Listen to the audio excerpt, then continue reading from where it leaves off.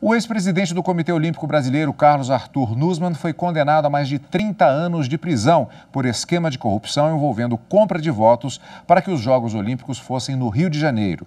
Também foram condenados o ex-governador Sérgio Cabral e o ex-diretor do Comitê Rio 2016, Leonardo Griner. A decisão foi do juiz Marcelo Bretas, da Sétima Vara Federal Criminal do Rio de Janeiro.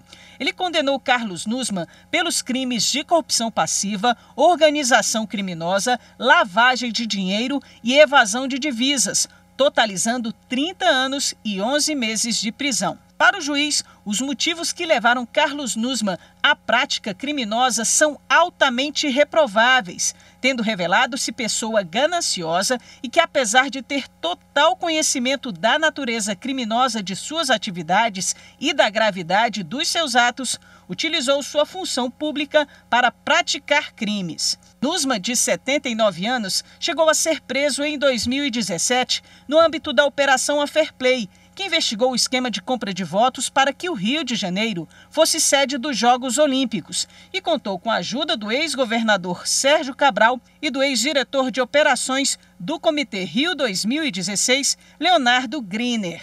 Nussmann, que comandou o Comitê Olímpico Brasileiro entre 1995 e 2017, ainda foi multado em 1 milhão e 600 mil reais. Apesar de condenado a regime fechado, o juiz possibilitou que o ex-presidente do COB recorra em liberdade.